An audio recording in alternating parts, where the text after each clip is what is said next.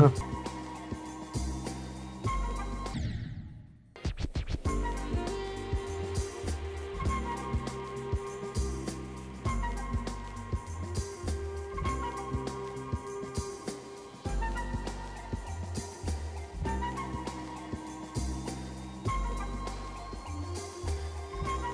Já, ég sá það einmitt. Þú varst í fjörðum og sinni alltaf komin í 90.